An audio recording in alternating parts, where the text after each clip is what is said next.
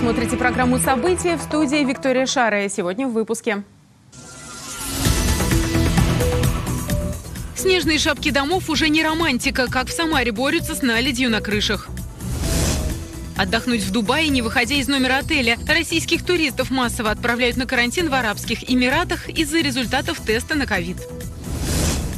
Позвонили из банка и предложили перевести деньги на безопасный счет. В России активизировались телефонные и интернет-мошенники. Как не стать их жертвой и сохранить сбережения? Мобилизовали 26 бригад профессиональных альпинистов. В Ленинском районе Самары продолжают очищать крыши от снега и льда. В районе насчитывается 933 дома со скатной кровлей, которые требуют оперативного реагирования в снежную погоду и период температурных качелей. Всего 17 февраля в Самаре в работах на высоте задействовано 90 бригад, в составе которых работали 262 человека. Гульфия Сафина продолжит тему.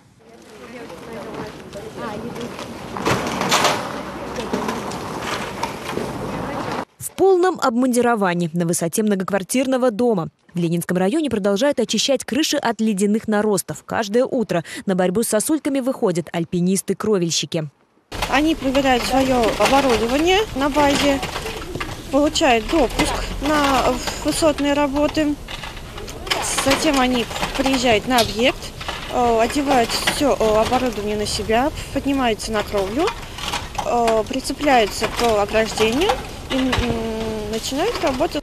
Только в Ленинском районе более 900 домов со скатными кровлями. Это, как правило, малоэтажное жилье и хрущевки. Приступая к работе, коммунальщики огораживают территорию сигнальной лентой, а во время всего процесса прохожих предупреждает работник бригады.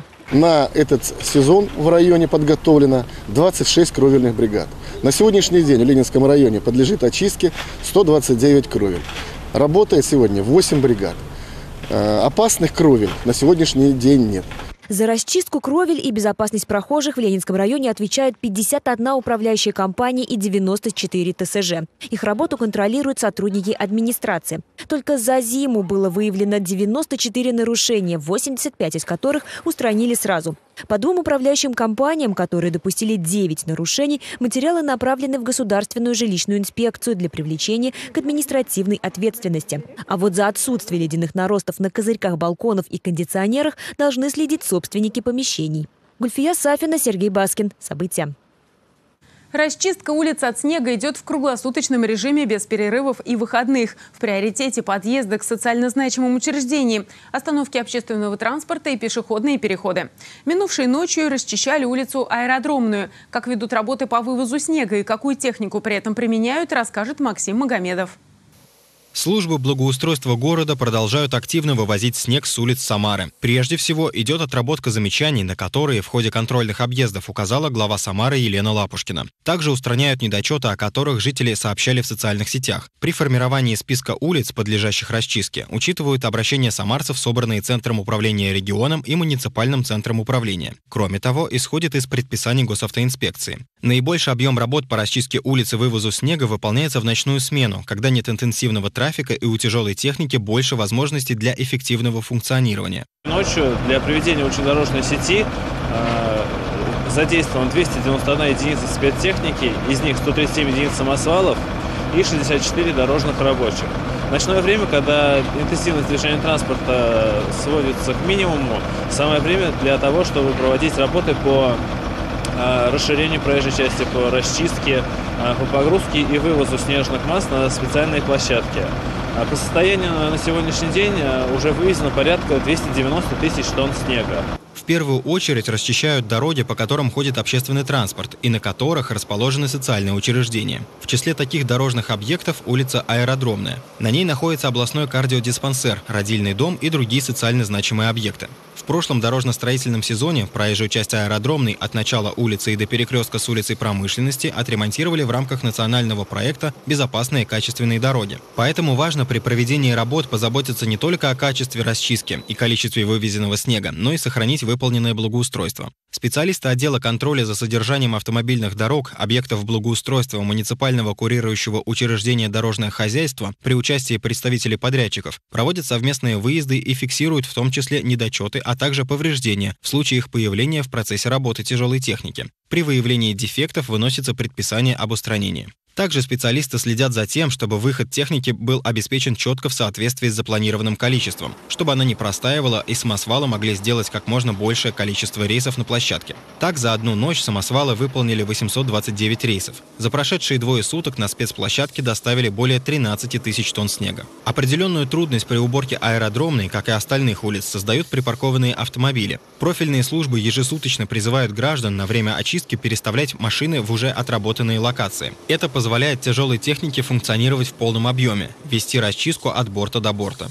Применяют и ручной труд. Он незаменим при очистке тротуаров возле пешеходных ограждений. Павел Грибач рассказывает, что его любимое место отдыха – Парк Победы. Раньше он здесь работал диджеем, а теперь приводит город в порядок. Говорит, работа на свежем воздухе в приятном коллективе больше по нраву.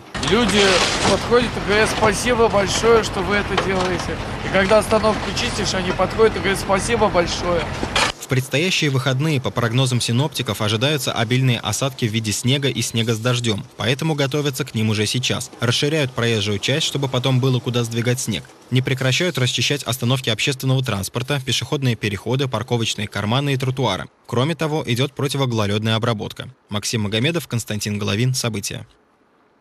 В Самарской области за сутки зафиксировали 3535 случаев заражения коронавирусной инфекцией. Общее число заболевших в регионе с начала пандемии – 280 863 человека. Такие данные в четверг опубликовали на сайте stopcoronavirus.rf. Выздоровели за сутки 2475 человек, а всего с начала наблюдений из больницы выписались 227 039 пациентов. Тем временем в регионе продолжается прививочная кампания против новой коронавирусной инфекции. Некоторые жители Самарской области уже проходят ревакцинацию. Тему продолжат наши корреспонденты. Исключить алкоголь, тяжелый физический труд и по возможности взять отгул на работе. После прививки желательно дать организму отдохнуть, объясняет врач пациенту Сергею Денисову, который пришел в поликлинику на ревакцинацию от COVID-19. Молодой человек, владелец магазина розничной торговли, бесконечный поток клиентов, общение с коллегами – все это увеличивает риск возможного заражения коронавирусной инфекцией, особенно с появлением нового и более заразного штамма омикрон. Вакцины есть, вакцины работают. То есть это подтверждено не только ковидом, но и другими заболеваниями. Ну и э, как бы, есть на самом деле серьезное основание полагать в том, что массовая вакцинация убережет нас от каких-то пиковых э, заболеваний. С приходом в Самарскую область нового штамма омикрон даже те, кто ранее отказывался от прививки, сейчас проявляют сознательность и идут на процедуру вакцинации и ревакцинации, не нарушая график. Сейчас мы видим, что все больше и больше людей, я даже не говорю о пациентах, они приходят в лечебные учреждения, они звонят, они спрашивают про вакцинацию, даже те лица, которые э, переболели. И вот эти позитивные сдвиги, они не могут не радовать, не зря, наверное, было проведено столько много разных информационных, в том числе мероприятий. Каждый житель региона перед прививкой проходит обязательный осмотр врача. Пациенту измеряют сатурацию, уровень кислорода в крови, давление, собирают информацию о хронических заболеваниях и противопоказаниях. Процедура, как правило, проходит легко. В первую очередь по-прежнему необходимо вакцинироваться людям с хроническими заболеваниями и пациентам из группы риска. Ольга Павлова, События. Российские туристы массово оказываются в изоляции в Арабских Эмиратах. Отдыхающие прилетают с отрицательными ПЦР-тестами на ковид, но проверка в местном аэропорту выявляет другие результаты. В итоге путешественников отправляют на карантин. По оценкам туристических компаний, около 30-40% прибывающих в Дубай российских путешественников оказываются заблокированы в своих номерах. С такой ситуацией столкнулись и туристы из Самары. Подробности расскажет Светлана Кудрявцева. Бурдж-Халифа, поющие фонтаны и роскошные мечети могут так и остаться на рекламных проспектах. У российских туристов в Арабских Эмиратах начали массово выявлять положительные результаты ПЦР-тестов, из-за чего путешественникам приходится проводить весь отпуск в изоляции, рассказывают в самарских турагентствах. Сделали в Самаре тесты, все нормально, прилетают туда положительные тесты. Это опять-таки карантин. Если отель позволяет, они находятся в отеле, изолированные от всех других, им кушать приносят. Э, либо предлагает отель, если закончился срок э, поездки, там же и 7, и 10 карантин бывает разные, э, то предлагают за свой счет добавить, потом будут страховая возмещать, либо бесплатно в госпиталях, в резервациях. На днях в такой ситуации оказалась журналист из Самары Ирина Чечурина. Она сообщила в Фейсбуке, что ее, как и многих других пассажиров самолета, отправили на карантин. Мы связались с Ириной, и вот что она нам рассказала. Я, как и все пассажиры самарского самолета, который летел сюда, имела отрицательный ПЦР-тест. Их проверили на посадке в самолет. А в аэропорту Дубая мы вынуждены, в отличие от европейцев, которых пропускают просто так, мы были вынуждены сдать повторный ПЦР-тест. И очень у многих они оказались положительными. В результате нас поместили на карантин в оплаченные нами номера, и мы проводим такой отпуск. Даже нельзя пользоваться инфраструктурой отеля, бассейнами, там, кортами и всем остальным. Можно только здесь сидеть. Хорошо, вот у кого оплачено питание, я на третьи сутки добилась, чтобы мне его носили в номер. Я не знаю, что едят другие. Отдыхающие и туроператоры не могут понять, с чем связана массовая изоляция. Мы раньше считали процентов 20 от вылетевших. Сейчас можно и 30-40 ставить процентов от вылетевших. И как бы, ну, карантин неизбежен. И более того, за свой счет ПЦР при, при вылете, потому что не все авиакомпании посадят на борт э, с положительным тестом. Эм, ну, даже не могу предположить, кому это выгодно, чтобы наши туристы так страдали, поскольку признаков никаких нет, симптомов нет, и ну, как бы по окончанию карантина также ничего нет.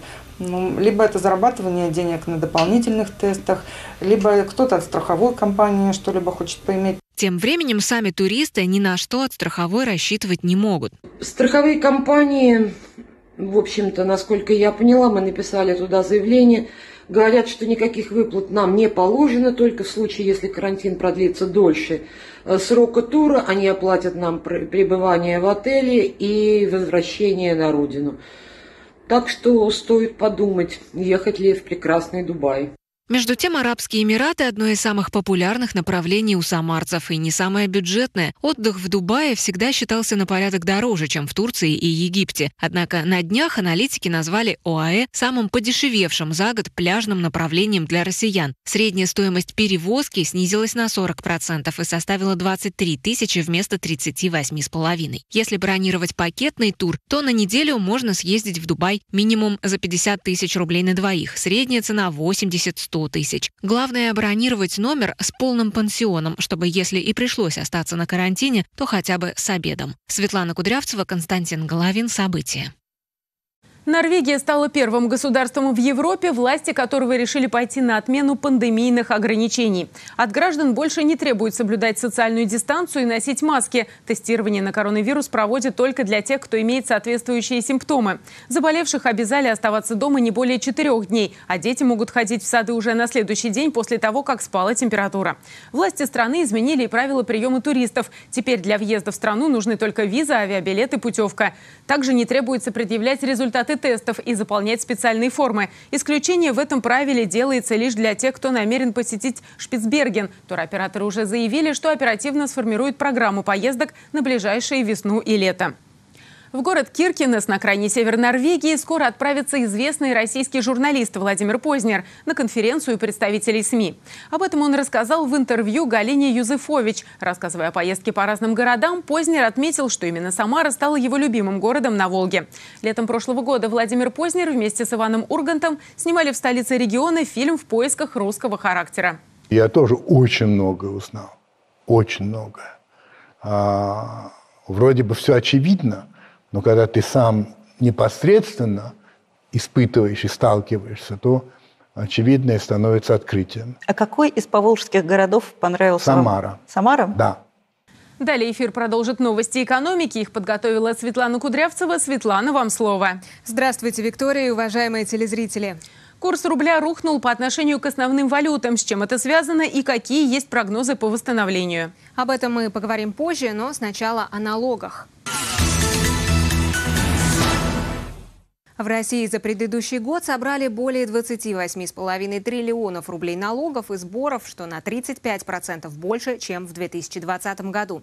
Самые крупные сборы обеспечил налог на добычу полезных ископаемых – 7 триллионов рублей в федеральный бюджет, 98 миллиардов в бюджеты регионов. Нефтегазовые доходы значительно выросли благодаря ценам на нефть. При этом всего на 5 регионов приходится почти половина всех поступлений. Больше всего налогов собирают в Москве, Ханты-Мансийском и Ямало-Ненецком Донецком, автономных округах, Санкт-Петербурге и Московской области. Меньше всего в Ингушетии, Еврейской автономной области, Тыве, Калмыкии и в Республике Алтай. Минсельхоз России выделил четыре товарные позиции, которые могут подорожать в этом году. Среди них молоко и молочная продукция, хлеб, овощи и сахар. Прошлом году стоимость хлеба росла незначительно, поскольку ведомство предоставляло субсидию на 1 килограмм товара, чтобы продавать его в рознице по фиксированной цене.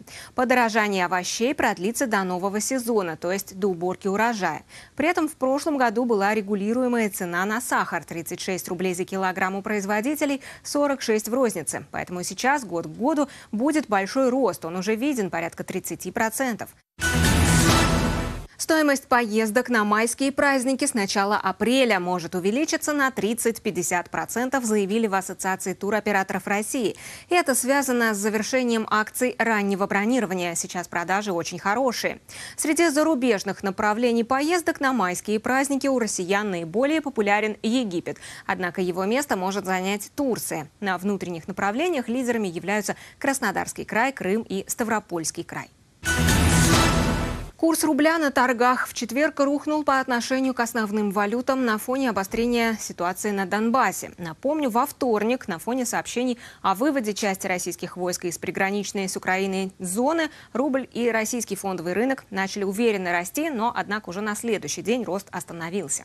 На 18 февраля Центробанк установил следующие курсы валют. Доллар 75 рублей 75 копеек, он вырос на 74 копейки. Евро 86 рублей 13 копеек, европейская валюта прибавила в цене 82 копейки. Нефть марки Brent 93 доллара 20 центов за баррель. На этом пока все. Оставайтесь с нами и будьте в курсе.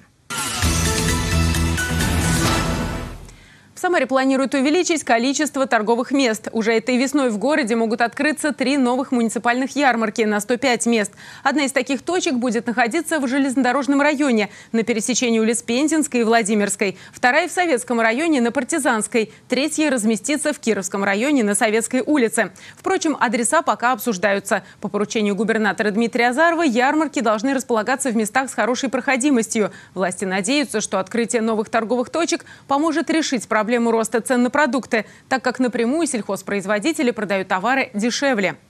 Кэшбэк, скидки, проездной полис ОМС в одной банковской карте. Функционал пластика значительно расширили. Теперь с помощью карты жителя Самарской области можно будет узнать о спортивных и культурных событиях, а также приобрести билеты. С начала выпуска банки-эмитенты получили более 12 тысяч заявок на оформление.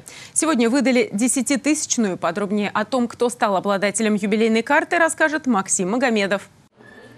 Татьяна Патросиенко стала десятитысячной обладательницей карты жителя Самарской области. О новинке узнала от коллеги на работе и решила обратиться в банк-партнер за оформлением. Рассказывает, что была удивлена, когда поступил звонок от сотрудника с поздравлениями. Это очень как-то необычно. Не, не ожидала я, не думала даже, что так может быть. И это очень удобно, потому что в одной карте сразу все. Я думаю, надо попробовать. Ну, то есть там и транспортная, и скидочная, и как бы банковская карта. Я вот как бы только получила, поэтому, когда узнаю все возможности карты, я думаю, я буду вас пользоваться прям по полной. Карта жителя Самарской области выпускается на базе платежной системы «Мир». С ее помощью можно получать скидки от партнеров проекта. А с начала этого года владельцы карт могут использовать их при посещении поликлиник в качестве аналога полиса ОМС. В ближайшее время совместно с областным министерством здравоохранения будет разработан и внедрен сервис «Электронный рецепт». На портале «Карты жителя» развиваются сервисы в сфере культуры, туризма и спорта. В ближайшее время появится возможность оплаты экскурсий и регистрации на спортивные мероприятия. С точки зрения туризма мы хотим реализовать следующую функциональность в этом году. Это а, формирование интерактивной карты, где будут размещаться наиболее популярные туристические маршруты, где можно будет составить свой собственный э, туристический маршрут. Уже сейчас реализована интеграция с порталом культуры РФ, и в прошлом году мы уже на портале опубликовали больше 8 тысяч э, анонсов по тем или иным мероприятиям, которые у нас в регионе проходили. Оформить заявку на получение карты жителя Самарской области можно онлайн на интернет-портале продукта. Для этого необходимо авторизоваться через госуслуги. Также можно подать заявление лично в любом офисе банков-партнеров. Для этого потребуется предоставить паспорт, полис ОМС и СНИЛС. Оформление карты бесплатно. Срок изготовления составляет от 14 дней. Максим Магомедов, Николай Сидоров. События. Россияне продолжают попадаться на удочку телефонных аферистов, представляющихся сотрудниками банков или правоохранительных органов. Ежегодно десятки тысяч людей добровольно отдают свои сбережения мошенникам. Аферистам даже не нужно видеться и контактировать с жертвой. Достаточно позвонить или написать. Как обезопасить себя от киберпреступления, расскажет Мэри Елчан. От телефонных жуликов и интернет-мошенников страдают люди любого возраста и социального статуса. Только вот суммы ущерба у всех разные. Аферисты умело используют технические возможности. Завуалировать свой номер под телефон официальных организаций и учреждений для них не составляет труда. Это и вводит в заблуждение тех, кто отвечает на звонки и ведется на уловки жуликов. Удастся ли потом вернуть деньги, зависит от многих факторов, но помочь может быстрая реакция потерпевшего. Я считаю, что необходимо получить финансовой организации выписку о движении денежных средств по своим счетам. После этого, если были входящие звонки на мобильный телефон, взять детализацию своих переговоров в день, когда были звонки.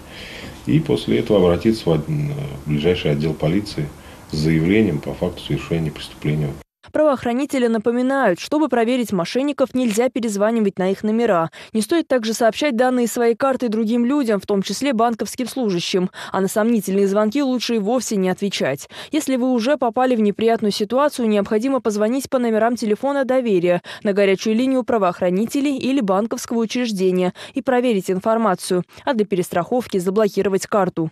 Если у банка возникают какие-либо вопросы да, к своему клиенту, то а, как правило, э, эти вопросы дублируются по разным каналам. Э, эти вопросы возможны и через э, личный кабинет, да, ну и, соответственно, как правило, сейчас банки не пользуются обзвоном клиентов с точки зрения выявления персональных данных. Это табу, это категорически запрещено в банках. Многие мошенники хорошо разбираются в психологии. Они умело давят на гражданскую ответственность и социальную позицию жертвы, говорят эксперты. Проблема в том, что это как с зарядкой. То есть все знают, что хорошо делать зарядку, но не делают. Все знают, что хорошо там правильно питаться, не курить, не пить. И в целом знание не означает, что человек будет соблюдать эти правила. И тут как раз э, проблема в том, что мошенники с помощью интернета, с помощью телефона, они бьют по эмоциям. Они у человека отключают рациональное мышление, и человек начинает совершать те действия, которые он в обычном состоянии никогда бы не совершил. Жулики давно освоили многоходовки, на каждом этапе которых задействованы разные люди. И расследовать киберпреступления становится все сложнее. Поэтому следует всегда быть начеку и проверять тщательно любую информацию, чтобы не лишиться своих средств. Мария Илчан, Николай Сидоров. События. Хоккеисты ЦСКА ВВС завершили свой сезон. В заключительной игре летчики уступили питерскому «Динамо». Но даже победа в этом матче не помогла бы самарцам уйти с последнего места в турнирной таблице. Об этом и других новостях в нашей спортивной рубрике. Хоккеисты ЦСКА ВВС провели заключительный матч сезона. На домашнем льду летчики принимали «Динамо» из Санкт-Петербурга. Гости сняли практически все вопросы об исходе матча еще в первом периоде, трижды огорчив голкипера самарцев. Хозяева предприняли погоню сразу после перерыва и уже на девятой секунде второго игрового отрезка одну шайбу отыграли. Но затем на 36-й минуте еще дважды пропустили. В начале третьего периода летчики вновь сократили отставание, но больше забить так и не смогли. 2-5 поражение ЦСКА ВВС. Самарцы закончили сезон на последнем 27-м месте в ВХЛ, одержав всего 5 побед в 52 играх. Другая команда из Самарской области, Тольяттинская «Лада», вышла в плей-офф и поборется за чемпионский кубок. 17 февраля в Орле стартует финал 8 дивизиона «Центр» Ассоциации студенческого баскетбола среди команд девушек. Команда СамГТУ «Самара», совершившая регулярный чемпионат на третьем месте, одержав 9 побед в 11 матчах, в четвертьфинале сыграет с коллективом «СГУС» из Смоленска. В регулярном чемпионате самарчанки переиграли этого соперника 79-67. Четыре гандболистки «Лады» Валерия Кирдяшева, Вероника Никитина, Ольга Фомина и Ольга Щербак получили вызов в национальную сборную России для подготовки к двум матчам квалификационного турнира чемпионата Европы с командой Польши. Первый поединок пройдет в Польше в Кашалине 3 марта. Ответная домашняя встреча состоится в Астрахане 6 марта. На этом наш выпуск завершен. Всего вам доброго и до встречи.